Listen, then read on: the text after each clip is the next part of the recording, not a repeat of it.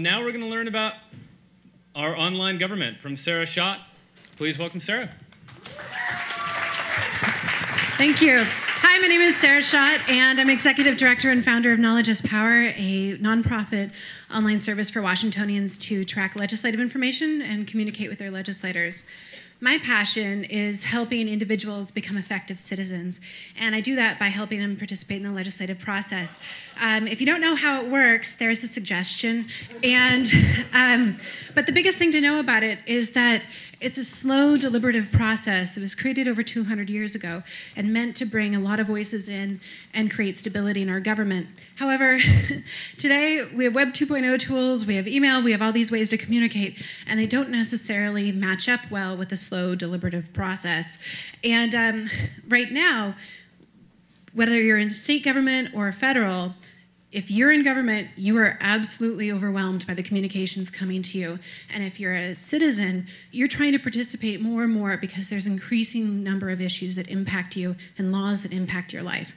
In the states, the challenges they face are one, they're using Outlook to manage 800 to 3,000 emails a day with peaks of 8,000, 16,000, um, hundreds of thousands of form letters. And form letters, by the way, send 40,000, one is read by an intern. Um, so it lowers the overall value. On the federal level, same issues. They have another convoluted system to manage their email. Um, but if you send a hard copy letter, it's going to take six weeks to go through because of the anthrax scare. It has to be irradiated. Um, and this causes big problems for legislators and for citizens. I highly recommend watching Mr. Smith Goes to Washington because that movie was filmed in 1938 and things haven't changed that much. Um, one, one, citizens are just sending so much in that um, it's an overwhelming uh, situation for legislators. And two, if you're a constituent and you have a real problem that you need dealt with right now, your child is off of WIC, your whatever um, your email, your phone call is at the bottom of a stack of 80,000. Um, so what we're having problems with one is that organizations in their drive to get their message through and their legislation enacted are using astroturf kind of grassroots organizations so that's form letters that's petitions that's phone call drives and what happens is you know, only a third of the emails or the form letters that they receive, legislators receive, they believe to be real people. It's lowering the value.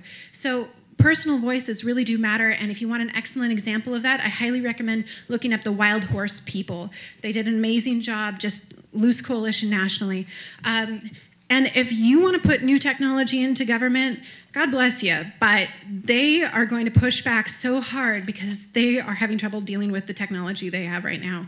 Um, California is just way behind, um, so is Washington State. But the bigger issue how can you be effective? How can you impact the laws that impact you?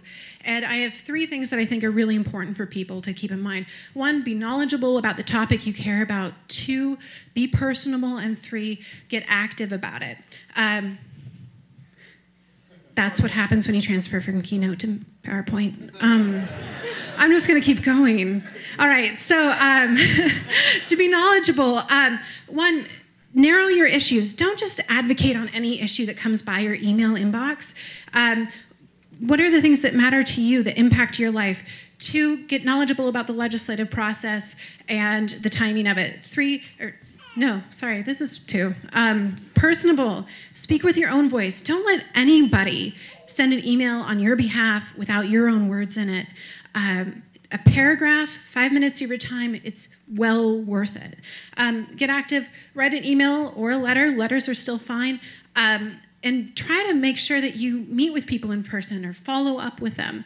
Um, outside of legislative process or the legislative uh, timing is a great time to talk. They're in your district, they're in your neighborhood. Finally, don't forget that you are a powerful individual. You are the most powerful citizen on earth. And many people are jealous of the power you have. Use it and use it wisely. Um, finally, knowledgeispower.org. We're up live here in Washington State. You can come check us out. We have a lot of tools that ease participation in the legislative process. We do things from uh, translating legalese into eighth grade level English for you, timelines, all these different things. And it's a beta, so it might be broken if you come to it tonight, but um, we're working on it. And um, I'm always up for talking to people about it or how to participate more effectively in the legislative process. Um, my name is Sarah Schacht. You can find me online at knowledgeispower.org. And um, and the quote didn't work, but I will read it for you. Knowledge will ever forget for will forever govern ignorance, and uh, people who mean to be their own governors must arm themselves with the power that knowledge gives. And uh, it's Thomas Jefferson. Thanks so much. Have a good night, you guys.